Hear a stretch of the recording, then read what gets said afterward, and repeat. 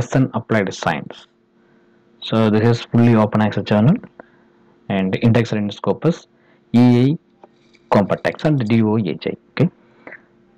This journal accepting multidisciplinary research of field and peer review open access journal for the discipline of applied life science, chemistry, earth and environment science, engineering, material science and physics.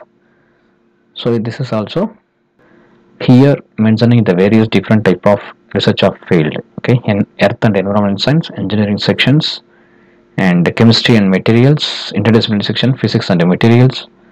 So all the related research of field will be accepted. So 46 days Shamis to first edition and open access journal. And also indexing time is Scopus indexed journal.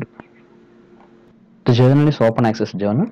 So you can freely access and for the published paper without subscription charge. But you, author after acceptance of the paper author need, need to pay uh, publication charge.